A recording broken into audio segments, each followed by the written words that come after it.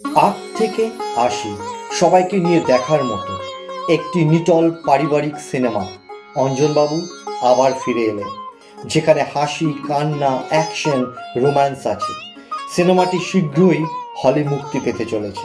নমস্কার, আমার নাম সত্যপ্রিয় সরকার। অঞ্জনবাবু আবার ফিরে এলেন। একটা খুশির খবর, খুব শীঘ্রই অঞ্জনবাবু আবার ফিরে এলেন এই বাংলা সিনেমাটি। সিনেমা হলে মুক্তি পেতে চলেছে। নাটক বা সিনেমা কবিতার বই টই একাডেমি নন্দন চত্বরে হইচই। চায়ের বারেতে সি ফুটবল ব্যক্তি সবটা ড্রিবল করে আমাদের কাকু। মাকু নাকি চাকরি বেস্ট ফ্রেন্ড বাড্ডি ক্যামেরা বহুল দাবা কালচার কাকু। গোটা দেশ ঘুরছে কালচার কাকু। আট থেকে আশি সবাইকে নিয়ে দেখার মতো এটা একটি পারিবারিক ছবি।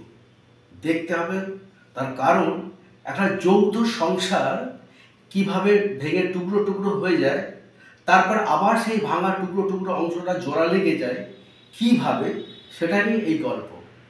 সুতরাং আপনারা আসুন, দেখুন এবং আমাকে আরও ছবি পরবর্তীকালে যাতে করতে পারি তার জন্য অনুপ্রাণিত করুন। আপনি কিন্তু আমাদের মুখে গ্রাস কেড়ে নিচ্ছেন, ম্যাডাম। এটা কিন্তু আপনি ঠিক করছেন না। আর আপনি কাউন্সিলর হয়ে এভাবে টাকা তুলছেন? এটা আপনার দল বা মুখ্যমন্ত্রী জানেন তো? নমস্কার আমি রিমা লাহিরি সত্যপ্রিয় সরকার পরিচালিত অঞ্জন বাবু আবার ফিরে এলেন। মুখ্য চরিত্র হচ্ছে সোনাবু এই সোনাবুকে ঘিরে এই সম্পূর্ণ মুভিটা এখানে সোনাবুর নাম হলো পূজা। আমি এখানে পূজার চরিত্রে অভিনয় করেছি। যে চরিত্রটাকে আপনারা গল্পের একদম শুরু থেকে শেষ পর্যন্ত পর্যন্ত দেখতে পাবেন। নির্দেশক সত্যপ্রিয় সরকার এই ছবিটি বানিয়েছেন প্রয়াত নির্দেশক শ্রী অঞ্জন চৌধুরীর স্মৃতির উদ্দেশ্যে। এই চলচ্চিত্রে আমি একটি অত্যন্ত গুরুত্বপূর্ণ চরিত্রে অভিনয় করছি। আপনাদের সবাইকে অনুরোধ করব, সকলে মিলে প্রেক্ষাগৃহে গিয়ে এই ছবিটি দেখুন এবং উপভোগ করুন। তুই শুধু আমাকে বল, আমাকে আর কি কি করতে হবে? পূজাকে এ বাড়ি থেকে তাড়ানোর জন্য আমি সব কিছু করতে রাজি আছি, এমনকি খুন পর্যন্ত। দেখতে চান তো আমার এই অভিনয়টা? অঞ্জনবাবু আবার ফিরে এলেন। এই ছবিটি খুব শীঘ্রই রিলিজ হতে চলেছে। আমার চরিত্র, শুভ্রা। বাড়ির দরজাল, বড় আমি কল্যাণ মজুমদার, সত্যপ্রিয় সরকার পরিচালিত অঞ্জনবাবু আবার ফিরে এলেন ছবিতে। আমি অভিনয় করেছি প্রমোটারের চরিত্রে। ছবিটি খুব শীঘ্রই সারা পশ্চিমবঙ্গে মুক্তি পাবে। নমস্কার, জয়শ্রী এন্টারটেনমেন্টের পক্ষ থেকে আপনাদের সবাইকে অভিনন্দন। আমি চঞ্চল দাস।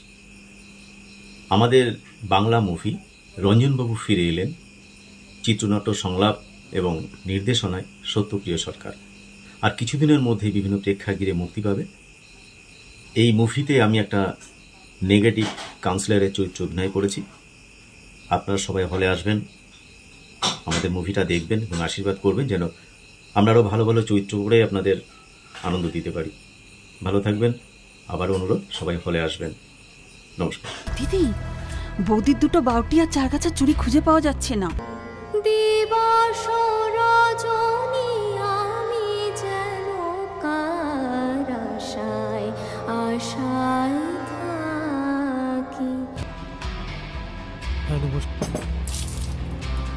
যা দুধটা পড়ে গেল। আচ্ছা তুই একবার ভেবে দেখ তো। এই দুধটা যদি ওই বিড়ালটা না খেয়ে সেতু ঠাকুর পোখে তো। আমি আপনার কাছেই যাচ্ছিলাম। একটা ছোট আবদার ছিল তোমার এই গানটা শুনতে শুনতে তোমার মায়ের কাছে চলে যাবে।